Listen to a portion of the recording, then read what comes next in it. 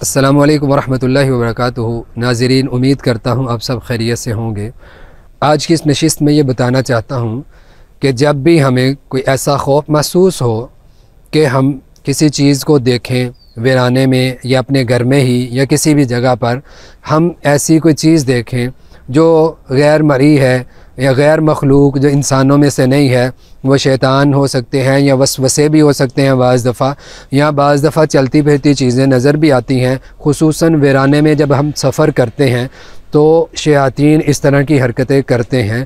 تو اس وقت ہم فوراً کیا کریں، کوئی بھی چیز سمجھ نہ آئے تو فوراً کیا پڑھنا چاہیے۔ رسول اللہ صلی اللہ علیہ وسلم نے اپنی حدیث میں اس کا ذکر کیا ہے۔ مسند احمد میں حدیث ہے، جابر رضی اللہ تعالیٰ بیان کرتے ہیں، فرماتے ہیں کہ رسول اللہ صلی اللہ علیہ وسلم نے فرمایا، جب تم سرسبز زمین پر چلو تو تم اپنی سواریوں کو کھول دیا کرو یعنی چرنے کے لیے۔ اور کسی جگہ پر پڑاؤ ڈالتے ہو تو اس وقت راستے سے ہٹ کر سڑک سے یعنی راستے سے ہٹ کر ٹھہرو۔ اور اگر تم رات کے وقت میں وہاں پر محسوس کرو۔ کیا چیز آپ نے بول کر بیان کیا؟ فرمایا، اذا تغولت لکم الغیلان فنادو بالآذان اگر تم شیاطین کے جمکٹے کو دیکھو یا کوئی بھی ایسی مخلوق جو انسانوں سے ہٹ کر ہے یعنی غیلان کیا ہے؟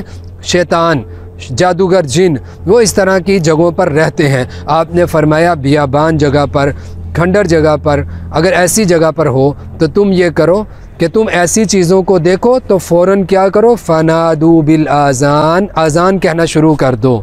یعنی اذان کہو اذان کہو گے وہ شیطان، جادوگر، جن جو ہیں وہ وہاں سے نکل جائیں گے۔ وہ غول ان کے وہ غیلان جو آپ نے بیان کیا، وہ وہاں سے نکل جائیں گے۔ مختلف رنگوں کے شکلوں میں بعض دفعہ نظر آتے ہیں، کبھی بونے سے نظر آتے ہیں، مختلف طریقے ان کے نظر آنے کے۔ تو آپ نے فرمایا، جب وہ نظر آئیں تو تم اذان کہو۔ اذان کہنے سے وہ دور بھاگتے ہیں، چلے جاتے ہیں۔